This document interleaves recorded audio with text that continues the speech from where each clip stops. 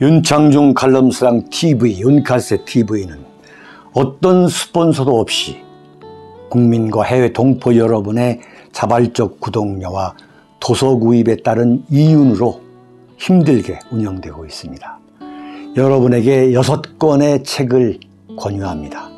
3년간의 죽음보다도 더 고통스러웠던 그 기록을 담은 피정, 그리고 박근혜 대통령 탄핵을 기록한 2017년 12월. 운명. 문재인 정권의 피비린내 나는 정치 보복을 상세히 기록한 칼춤과 부활. 박근혜 대통령의 탄핵이 과연 정당했는가 유승민의 배신의 정치가 정당했는가를 물으면서 제가 대구에 내려가서 쓴 깃발 이렇게 여섯 권의 책을 권유합니다. 여러분이 윤카세 TV를 유지시켜 주시기 바랍니다. 이준석 했나 안 했나입니다. 여러분 세 번째 칼럼에 들어가면서 어제 제가 정말 제 자신이 너무도 감동적인 그 문자를 받았어요. 예. 여러분 제가 이제 이 책을 썼는데 윤카세 TV 운영이 이제 어렵다고 하니까 이 제가 쓴 책을 구매하겠다고 하는 이제 문자가 왔어요. 그래서 이제 감사의 문자를 이제 보냅니다. 예, 예. 그랬는데 그 책을 주문하신 그 분이 답장을 보내왔어요. 답장을. 예? 제가 여러분들과 함께 한번 좀 같이 이걸 공유하고 싶어서 소개를 좀 할까 합니다. 이렇게 길게 답장을 주시니 감사합니다. 누구누구입니다. 네? 사실 윤카세 TV가 여러분들이 운영을 해주는 거예요. 참 정말 눈물 나는 이야기입니다. 유튜브에서 광고를 하루 이틀 사흘 후에 광고를 붙여주니까 그 광고비로 운영을 할 수가 없는 거예요. 네. 그리고 저는 어쨌든 간에 이 윤카세 TV를 운영하는 게 저의 소신이고 제가 지금 이 대한민국에 살아가는 국민으로서 제가 애국하는 길이다. 이렇게 믿고 있기 때문에 지금 운영이 되고 있거든요. 그래서 책 한 권을 사주시면은 정말 성의를 다해서 연락을 드립니다. 이렇게 길게 답장을 주시니 감사합니다. 누구누구입니다. 쾌도 난마 때부터 통쾌한 분석에 감탄하며 보았고 억울한 일 당하시며 다시 일어서시는 모습도 응원하며 보았습니다. 야, 10년 전부터 저를 지켜본 것. 가슴이 덜컹하더라고요. 태극기 집회에서 연설하시는 것도 가까이에서 보았습니다. 아니 깜짝 놀랐어요. 남아있는 보수의 마지막 자존심을 세워주고 계셔서 진심으로 감사드립니다. 하, 남아있는 보수의 마지막 자존심을 세워주고 계셔서 진심으로 감사드립니다. 박근혜 대통령 탄핵은 억울한 인민재판이었다. 그래서 우리가 태극기를 들은 거 아니냐. 그런데 박근혜 대통령을 난도질하고 쑥대만 만든 윤석열에 대해서 우리가 아무런 문제의식 없이 단순히 이재명을 찍으면 윤, 예? 공산화가 된다는 그런 터무니없는 근거를 갖고서 우리가 윤석열을 찍어야 된다는 이 수박 보수들과 우리가 뜻을 함께 할 수 없다. 우리가 그래도 문제 있는 문제 의식이 있는 국민 아니냐 말이야. 그리고 윤석열 대통령이 아무리 지금 보수 우파가 지원해 가지고 대통령이 됐다 하지만 이대로 가면 안 된다. 우리가 CCBB를 가려야만 된다. 그래야 윤석열 대통령이 하야하지 않고 탄핵당하지 않는다. 이렇게 정말 제가 주장을 하고 있습니다만 저도 인간이사 너무 외로울 때가 많아요. 수박 보슬로부터의 공격, 어? 윤창중 뺄갱이다. 너 왜 그러느냐? 어? 출범한 지 얼마도 안 됐는데 왜 그러느냐 말. 이런 온갖 음해 그리고 뭐 워싱턴 사건 막 어 내가 윤창중이가 뭐 네가 뭐어 강간을 했느니 뭐 이런 터무니없는 음해 공격이 있고 그럴 때 외롭지만은 최소한 저는 쪽팔리는 삶을 사고 싶지가 않다. 어? 내 자존심을 버려가지고 내가 어?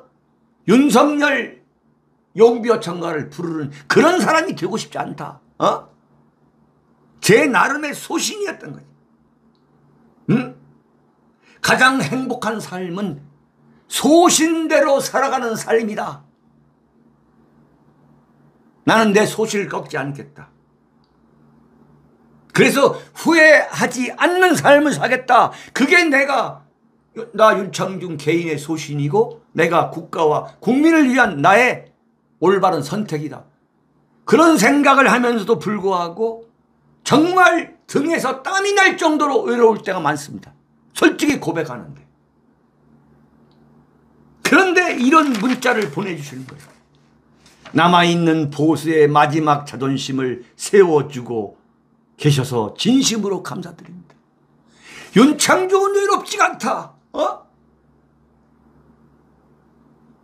해겔이 말했어요.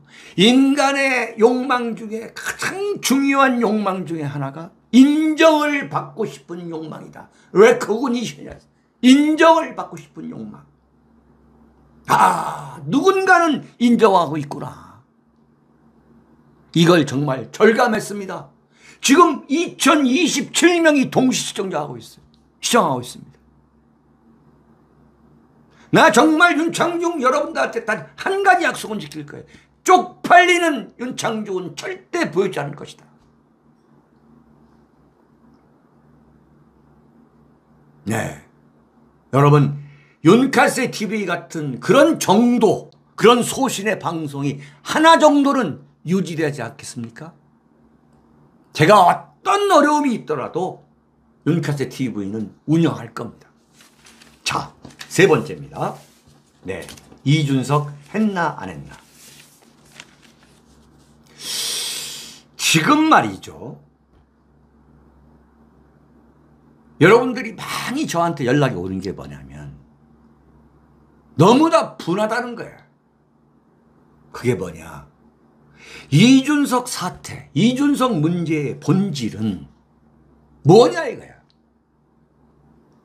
이준석이가 성상납을 받았고 그 성상납을 받았다는 그 사건을 무마하기 위해서 자신의 측근을 내려보내가지고 7억 원짜리 각서를 쓰게 만드는 그런 파렴치한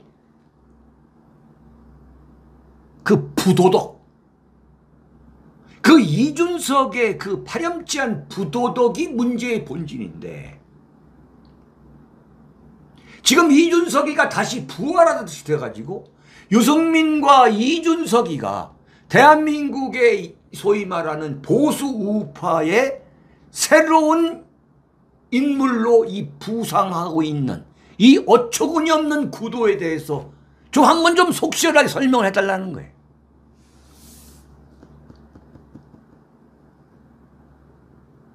그게 뭐냐. 이준석이가 징계 결정을 받아들이지 않고 윤리위 결정을 이 지방을 돌다가 서울에 돌아와서 본격적으로 윤석열 대통령을 직접 겨냥하는 것. 이건 뭐냐? 두 가지 목표예요. 하나는 뭐냐? 어떤 경우든 성상납 의혹 사건, 이른바 파렴치범이라고 하는 그 굴레를 굴레에서 벗어나서 윤석열 대통령과 윤핵관이 이준석 자신을 제거하려고 하는 정치 기획이고 정치 공작이다. 이 프레임으로 그러니까 성상납 의혹 프레임을 정치 탄압, 정치 공작 프레임으로 바꿔야만 바꿔야만 자기가 그 누명을 벗어나 그 그 오명 그 오명을 오명에서 벗어나 가지고 정치적으로 재기할 수 있다. 이런 전략이거든.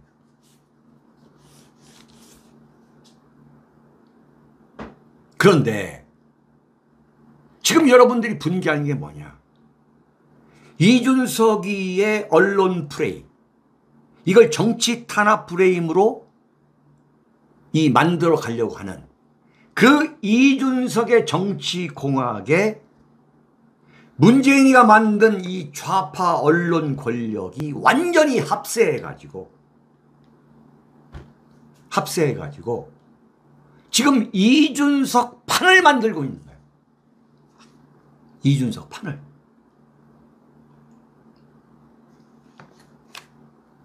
그러니까 이 언론 프레이에는 이골이 난 인간이지. 이준석이가. 그럼에도 불구하고 대통령실이라든가 이준석이가 공격하고 있는 이준석으로부터 공격을 받고 있는 이 윤핵관 누구도 정면 대응을 하지 않는 거예요. 악역하지 않겠다는 거지. 이런 상황이기 때문에 지금 이준석 세상이 돼버린 거야. 세상이. 근데 문제의 핵심은 뭐냐면 문제의 핵심은 이준석이가 지금 김성진 아이카이스트 이준석한테 성상납을 했고 현찰과 화장품 뇌물을 줬다고 주장하는 그 김성진 아이카이스트 대표가 2013년 7월 11일 그리고 한 달 후인 8월 15일 두 차례 이준석한테 술 대접을 하고 룸살롱에서 술 대접을 하고 성상납을 했다는 거야. 그러니까 첫 번째 핵심이 뭐냐? 문제 핵심이 했냐 안 했냐야. 네? 이준석이가 지금 여기에 답변을 해야 돼. 했냐 안 했냐.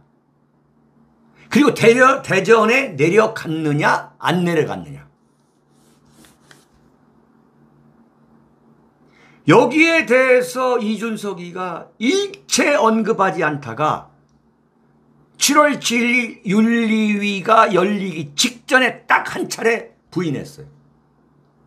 새빨간 거짓말이다. 그건 뭐냐면 근본적으로 이걸 성상납 프레임으로 만들지 않겠다는 거예요.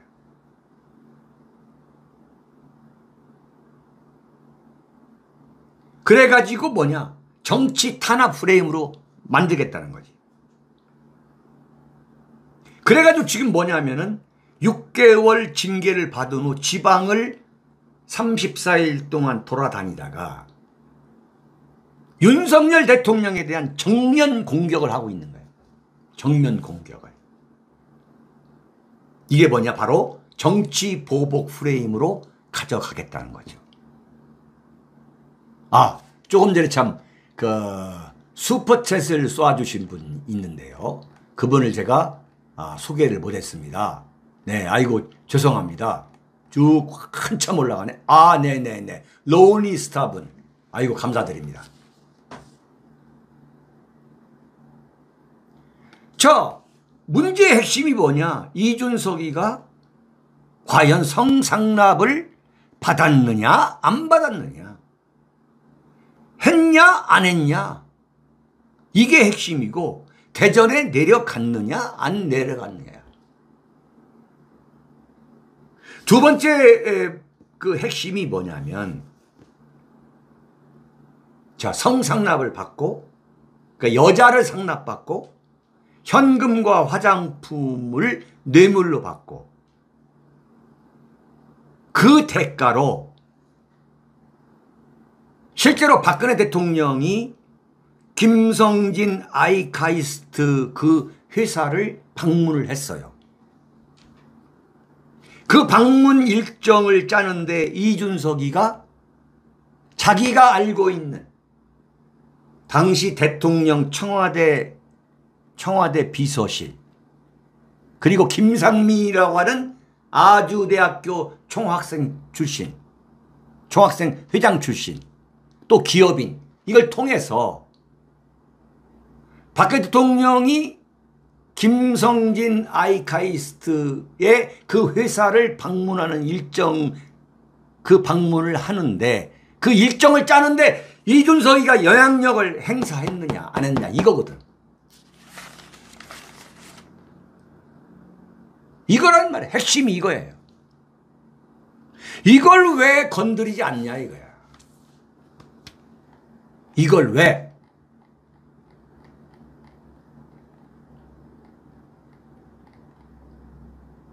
세 번째는 뭐냐?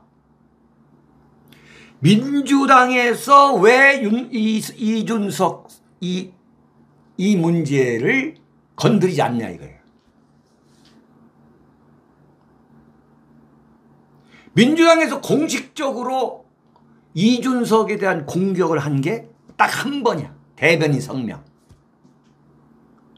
그리고 수많은 여성 의원들 민주당에 그 잘난 여성 의원들. 권인숙. 네? 부천서 성고문 사건의 주인공인 권인숙 의원까지도 아무 소리가 그리고 심상정을 비롯한 정의당의 그 여성 의원들. 많잖아요. 페미니스트들. 수많은 여성 단체들 수많은 좌파 단체들. 왜 한마디도 하지 않느냐. 그 다음에 좌파에서 전향한 보수파리들. 진중권이 서민이 금태섭이. 그 잘난 금태섭. 왜 이준석의 성상남 문제에 대해서는 단 한마디도 얘기하지 않냐 이게. 이건 뭐냐 이준석의 배우 세력이 바로 이준석의 후원 세력이 바로 여기서 언급한 민주당이요 좌파에서 전향한 보수파리 세력이요라고 분석하는 게 합리적 의심이라는 거야. 이준석이가 이 국민의힘의 당 대표가 되기까지 도대체 어떻게 해서 이준석이라고 하는 종편 출연자에 불과했던 이준석이가 그 돌풍을 일으켜 가지고 당대표까지 오르게 됐느냐. 그건 문재인 정권의 그 책사들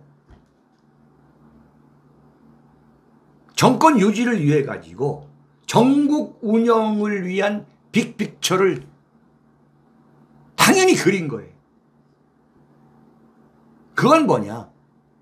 문재인 정권을 유지하기 위해서는 국민의힘에 반박근혜의 상징적 인물,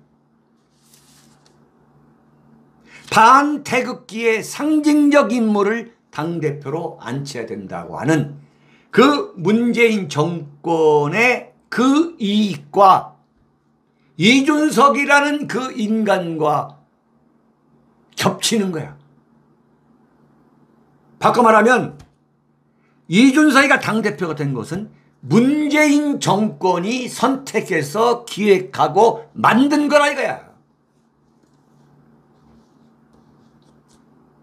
그래가지고 이준석이가 대구에서 대구에서 박 대통령 탄핵은 정당했다. 이런 소리를 한 배경 그리고 태극기 세력을 극으로 몰아버리고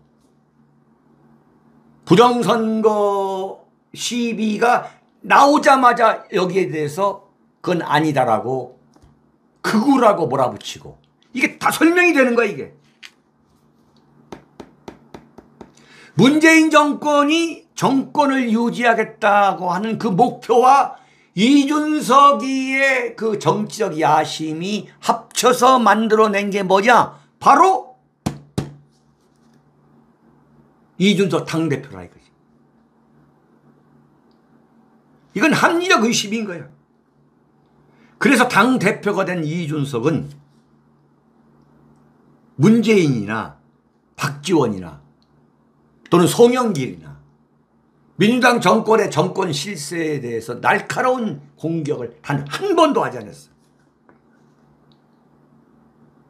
자, 이런 구도라면은 대선 과정에서 이준석이가 윤석열을 왜 공격했는지, 왜 내부 총질을 했는지, 왜 분탕질을 했는지 해답이 나오는 거야. 해답이. 지금도 마찬가지지. 지금도. 지금도 바로 이준석이에 대해서 민주당이나 좌파 세력이 일체 공격이 없는 거예요. 왜 공격이 없느냐? 이준석이가 윤석열 대통령 공격에 저격수를 하고 있는 거예요. 이런 진실이 밝혀져야 되는 거지. 이런 진실. 자, 네 번째입니다. 윤석열이 이준석 다시 포옹한다. 자, 여러분, 네 번째예요.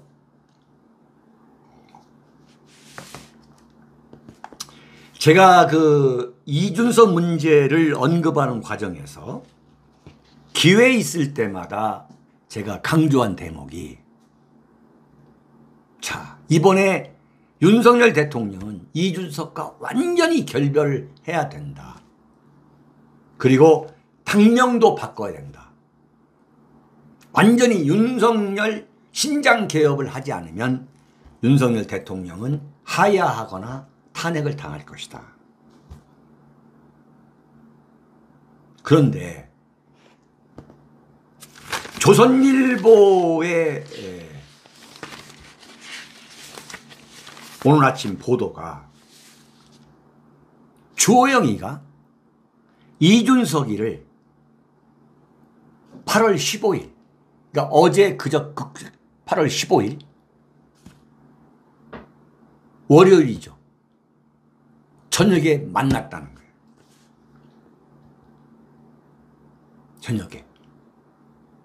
제가 가장 주목했던 이야기가 뭐냐면 윤석열 대통령이 이준석을 감당하지 못하다가 결국 다시 이준석을 통합 운운하면서 포옹하는 거 아니냐. 포용하는 거 아니냐.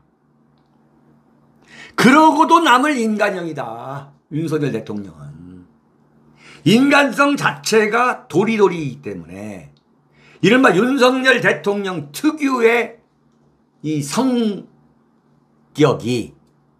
이 도리도리 스타일이기 때문에 말하면 도리도리라는 게 더블 플레이거든. 이준석을 죽일 듯이 하다가 결국 회군해가지고 이준석을 다시 포용하는 거 아니냐. 다시 끌어안는 거 아니냐. 이런 걱정을 많이 했잖아요. 근데 그렇게 되면은, 그렇게 되면은, 윤석열 대통령은 보수 우파로부터 완전히 배척이 돼가지고 윤석열 대통령 지지율이 더 폭락할 것이다.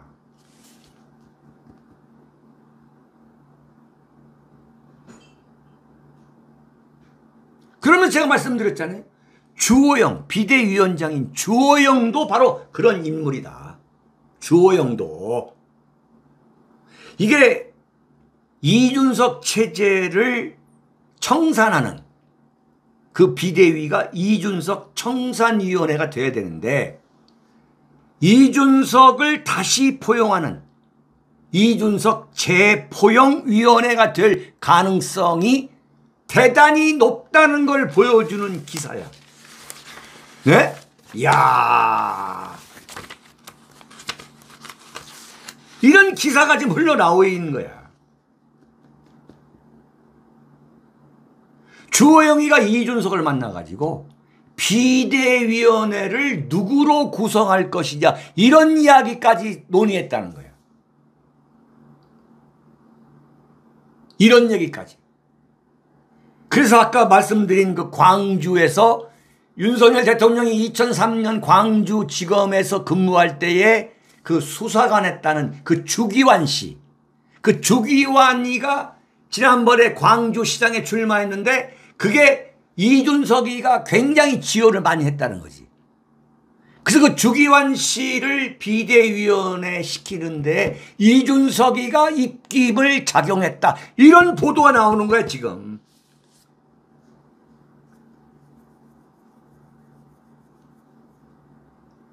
그러니 지금 보수파 입장에서는 윤, 이 이준석을 제거해야 된다. 어? 지금 이준석 때문에 보수가 망하고 있다. 하. 이러는 마당에 지금 정작 뭐냐. 주호영이는 이준석이 만나가지고 이준석이한테 제발 윤석열 대통령 좀 그만 조지고 적당히 하다가 이제 다시 들어오라. 이렇게 지금 그런 작업을 하고 있다는 거야. 정말 ARAK님, 정말 개판이네, 개판.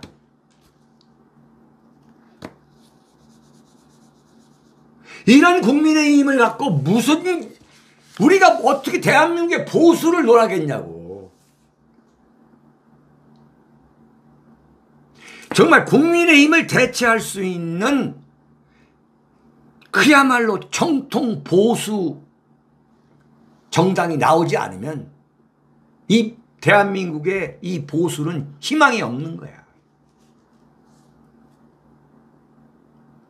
지금 여기까지 와가지 왔는데 이준석을 다시 지금 포용한다는 거야 지금. 아 열받아 정말. 어? 주호영이는 그러고도 남을 아주 사악한 인간형이거든.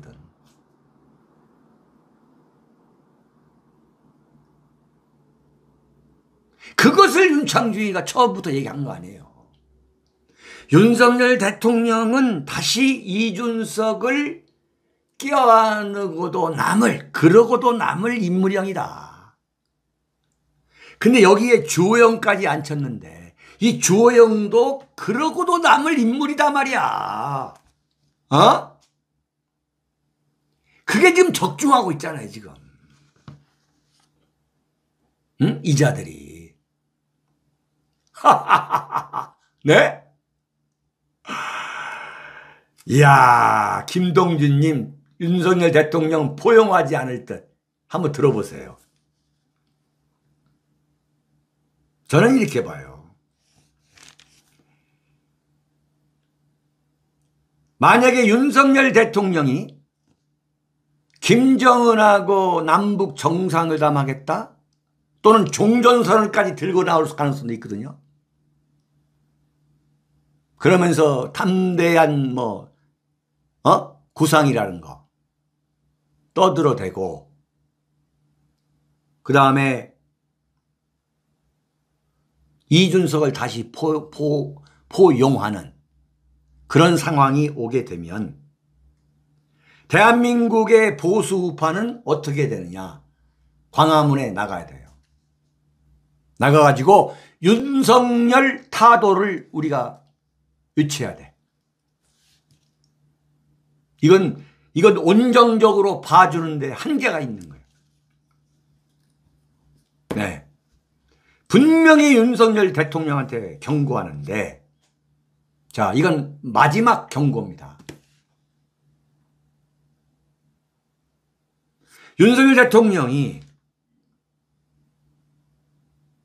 이제 김대중 노무현 문재인 김대중 노무현 정신 계승하고 5.18 정신이야말로 재연절 정신이고 헌법 정신이다.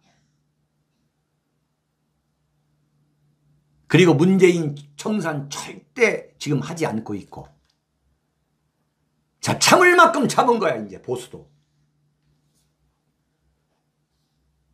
참을 만큼 참았어. 근데 여기다가 대북 퍼주기 담대한 제안 운운하면서 헛소리하고 이준석을 또 포용하겠다라고 한다면 전부 다 광화문에 나가가지고 타도 윤석열 타도 운동 해야 돼. 네. 나는 그게 지금 보수 우파에 나는 피할 수 없는 나는 선택이 되야 한가 봐요. 그래가지고 이 윤석열 대통령과 윤석열 정권 국민의힘의 이 버르장머리를 고치지 않으면 대한민국 희망이 없어.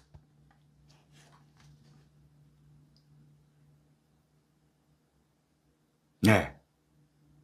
근데 이런 분명히 윤석열 대통령하고 이준석 사이에 유화적 흐름이 흐르고 있구나. 이런 유화적 흐름을 귀신같이 염탐하고 냄새 맡고 그런 인물들이 반드시 있게 마련입니다. 근데 어제요.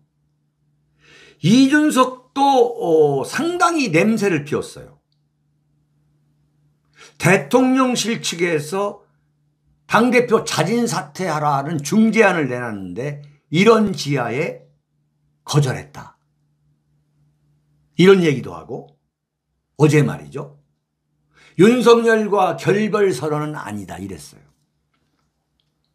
이것 보면은 이준석도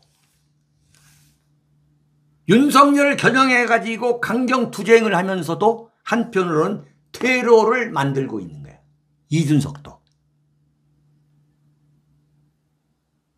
그러면 과연 이 주호영이가 이준석을 만났을 때 무슨 이야기를 과연 했겠느냐? 상당히 이준석이가 명예롭게 복귀하는 문제를 상당히 논의한 게 아니냐. 근데 이런 흐름을 눈치채고 어, 최재영이 박성중 최재형 의원이 윤석열과 이준석 사이에서 중재 역할을 하고 있는 거 아니냐라는 그런 합리적 의심을 하게 하는 발언을 했어요. 최재형이가 어제 KBS 라디오에 나가가지고 이준석 대표나 윤석열 대통령이나 좀 더 소통하고 다시 한번 같이 갈 수 있는 길을 모색할 필요가 있다. 누구를 배제하는 건 좀 좋은 방법은 아니다. 어떻게 해서든지 같이 가야 한다. 아이야. 그 가능성을 포기해서는 안 된다. 이게 국민의 힘인 거야. 이준석이가 깽빵 치는데 이준석을 잡아 조지겠다는 그 악역이 안 나오는 거야. 왜 안 나오느냐? 이른바 2030이 적대시하게 되면 선거에서 불리하다 이렇게 잔계산을 하는 거지. 최재형이 이렇게 나왔고 박성중 서초구 구청장 하다가 국회의원 된 이 박성중이가 어제 뭐라고 했느냐. 윤석열 대통령이 갈등 관계에 있는 이준석 대표를 결국엔 포용하는 담대한 조치를 취할 것이라고 했어요. 차, 이게 국민의 힘인가 이게 이게 최재형이 윤석열 대통령께서 큰 틀에서 한번 푸실 수 있는 그런 여지는 있지 않나 그렇게 기대합니다. 참 기가 막힌 이야기예요. 그렇게 만약에 된다면 윤석열 대통령의 이른바 지도력이 완전히 무너져 가지고 지지율 폭락으로 가서 딱 선택할 수 있는 건 딱 하나야. 하야냐 탄핵이냐. 저는 100% 장담합니다. 제가 윤석열 대통령과 윤석열 정권의 전략가들을 제가 다 당해낼 수가 있다고 제가 그랬잖아요. 이건 뻔한 길인 거예요. 뻔한 길이에요. 지금 이준석을 받아들인다 해서, 한다 해서 이른바 이준석을 지지했던 2030 세대들이 윤석열을 지지해 가지고 윤석열의 지지율이 오른다? 어림없는 소리. 네. 유티스님, 그럼 이양이는 어찌된? 아, 좋은 말씀이에요. 이양이는 세대는 거예요. 그런데 그런 것은 이 사람들이 안중에도 없는 사람들인 거야. 그런 인간들인 거야. 그런 인간들인 거야. 냉정히 봅시다. 어? 윤석열 대통령이 누굽니까? 문재인 배신한 사람 아니에요. 에? 주호영이가 누구예요? 이제 이명박 배신하고 박근혜 배신하고 탄핵해가지고 어 당에 나 새누리당 탈당해가지고 창당해가지고 어 밤이게 만들어 들어와가지고 지금 국민의힘의 당 대표가 되고 지금 국민의힘은 뭐냐 밤이계의 완전한 복원인 거야. 국민의힘은 뭐 니나 내나 다 배신한 자야. 니나 내나 배신인 거야. 이런 일이 왜 안 벌어지겠어요? 이런 일이.